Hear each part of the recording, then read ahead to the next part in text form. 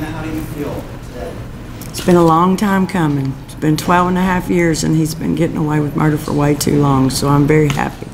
Describe the moment when you heard that first guilty. Well, you know, the judge says you can't make any noise, but you can't help but go, it was just a sense of relief.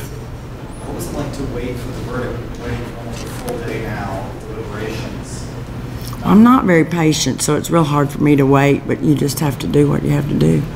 Made a promise to my daughter a long time ago, and I intend to keep it.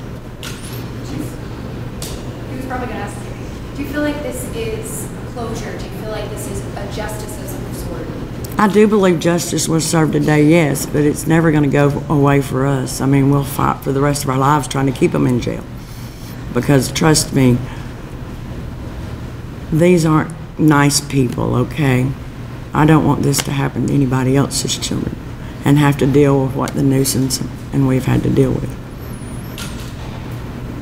This is kind of a similar question to what Madison said. I mean, this is, this is the fifth defendant facing these mm-hmm. murder charges. It's been a long time since a murder trial. Have you been waiting for this day for Boyd to, to have him guilty? Well, you can go back and check the record. I've been saying a long time, for almost since it happened, he's been getting away with murder, and yeah. You know, we've been, you know, Hugh and Mary have been trying diligently, and we've all been trying diligently to get everybody involved in this case that took our kids.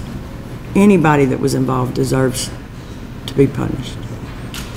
So, You've got the district attorney sitting in court with you every day. Mm-hmm. What does that feel like to have the backing of really the state of Tennessee at this point? well, from the get-go, we've pretty much had that, so we really do appreciate every, all of their hard work. They've put many countless hours into this, and, you know, where they've been working to try to bring it to justice, we've just been trying to survive without our kids, so it's been a long time coming. And I'm grateful to everybody, the DA's office, all the law enforcement officers that helped. You guys, you guys have been with us from the get-go, maybe not all of you, but the media in general, and I just really appreciate everybody's help. Because I don't want anyone to ever forget Channon or Chris. They were good kids, and they deserve that much. That was my next question, we've talked a lot about Eric Boyd in this case, Mm-hmm. but it's really about Channon and Chris.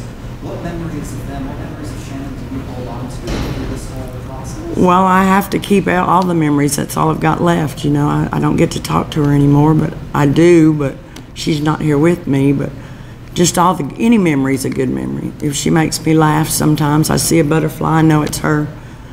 You know, letting me know she's okay or everything's gonna be all right. But I'll never forget my kids.